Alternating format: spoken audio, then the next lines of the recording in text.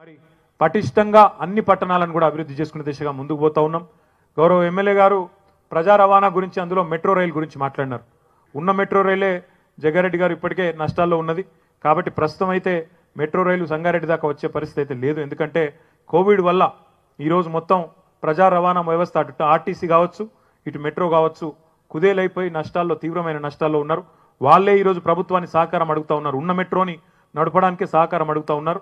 కాబట్టి ప్రస్తుతం అయితే సాధ్యం కాదు. కాకపోతే భవిష్యత్తులో తప్పకుండా నగరం విస్తరిస్తూ ఉన్నది హైదరాబాద్. పెట్టుబడులు వస్తూ ఉన్నాయి.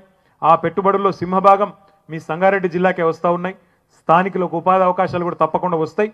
ఆ క్రమంలో నగరం పెరిగే క్రమంలో భవిష్యత్తులో తప్పకుండా మీరు చెప్పిన అన్ని అంశాలను కూడా సానుకూలంగా పరిశీలించే ప్రయత్నం చేసుకుందాం.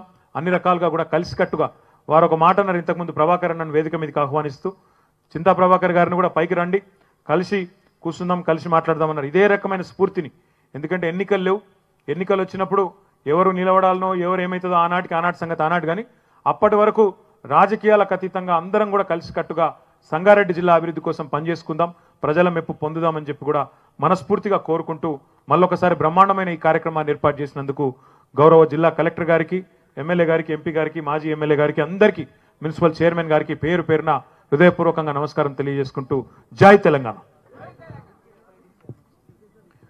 ఎమ్మెల్యే గారు చెప్ మన ప్రభాకర్ అన్న చెప్తున్నది యాద్ చేస్తున్నది ఏంటంటే యాభై కోట్లు సదాశివపేట సంగారెడ్డికి విడుదల చేయమని చెప్పినారు.